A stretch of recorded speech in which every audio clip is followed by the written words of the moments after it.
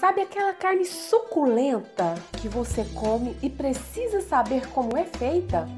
Pois é, hoje vamos lhe mostrar como fazê-la. Oi, gente! Tudo bem com vocês? Eu espero que sim. Para fazer nosso churrasco na pressão, vamos precisar de uma peça de patinho. Mas você também pode usar outra carne de sua preferência. Olha que maravilha de carne! Aqui vamos fatiar ela em larguras de um dedo mais ou menos, mas sem chegar até o final dela. E já quero agradecer a audiência de cada um de vocês. Obrigada por nos acompanhar e continuem sempre participando. Olha como ficou o corte de nossa carne. Agora vamos preparar o nosso tempero, que nesse caso hum, fica maravilhoso.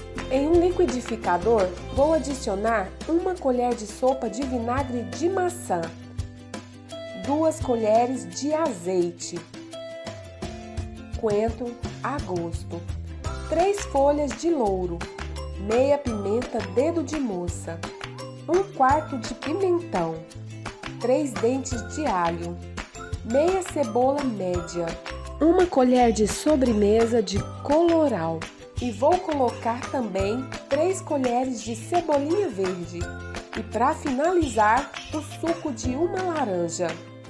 E antes que eu me esqueça, já deixem aqui nos comentários de onde vocês estão nos acompanhando. Eu quero mandar um abraço especial para vocês. E agora, vamos temperar nossa carne. Coloque o sal grosso, mas não exagerem muito. Agora vamos colocar nosso tempero. Despeje por toda a carne, passar o papel filme e deixar marinar aqui por 30 minutos. Passados 30 minutos, vamos arrumar nossa carne. Vou usar duas cebolas cortadas em rodelas, dois alhos amassados e 150 gramas de bacon. Vou colocar a cebola formando uma caminha. E hoje quero mandar um super beijo para o José Roberto, da cidade de Goiânia, em Goiás, e para Fernando Bueno, de São Bernardo do Campo, em São Paulo, e para Christian Gonçalves, nosso super fã de Joinville, em Santa Catarina. Eles que estão sempre curtindo, comentando e compartilhando nossas receitas. Obrigada pelo carinho, meninos. Façam vocês também como eles. Sigam nossa página e participem com a gente. Agora, vamos colocar nossa carne e despejar sobre ela o nosso tempero. Vou colocar o alho amassado e também o bacon cortado em cubos. Agora vou colocar dois tomates cortados em rodelas e orégano a gosto.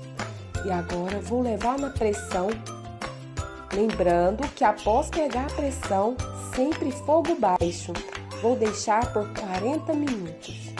Passados 40 minutos, vamos olhar como já está a nossa carne. E olha isso, gente, que maravilha! Já está bem macia e praticamente derretendo. Agora vou passar para um refratário e olha o que já vou fazer com esse molho aqui. Vou colocar 2 colheres de farinha de trigo e 100 ml de água em um recipiente e dissolver. Agora vou adicionar ao nosso molho e deixar incorporar. E aqui é bem rápido, viu? No máximo 3 minutos e já está pronto. Agora só despejar aqui o molho por cima da nossa carne e servir.